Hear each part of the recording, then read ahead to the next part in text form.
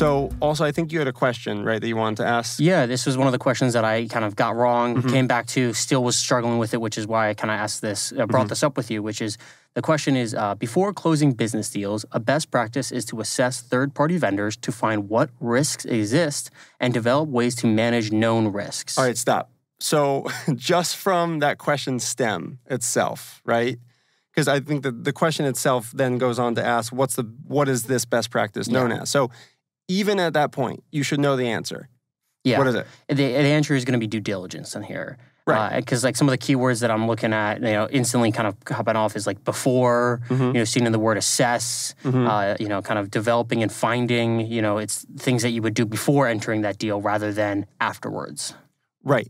And the word assess, I, to be clear, you can do assessments as part of due care, right? Mm-hmm. Like, for example, vulnerability assessments, pen testing, that's all sort of part of staying compliant and doing, you know, those actions after, for example, this business deal has closed.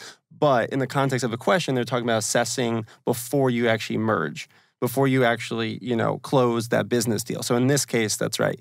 It's it's due diligence. So what just happened is, oh, by, by the way, we should check the right answer. Is due diligence one of the answer choices? It is the right answer choice. Great, perfect. So what just happened is you predicted the right answer.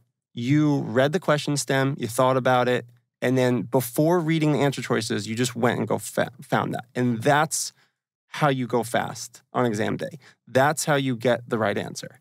So, Ethan, I think you told me one time you're a football fan. Yes. right? Die hard Eagles fan. Eagle. Okay, sorry. On the apologies for the Super Bowl loss. Thank you for Can, that. It Still can hurts. you name somebody who like plays defense? Uh, yeah, uh, Darius Slay, prob- you know, Who- the cornerback. Cornerback? Yeah. Okay.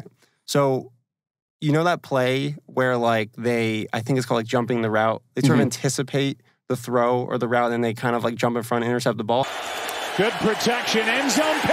Pass is intercepted by Slay. That's the feeling you should have on exam day when you're going through a question. You got to be proactive, not reactive. The answer choices are the scary, confusing places. The question stem is where you want to do all that hard work of thinking about the answer choice, predicting it.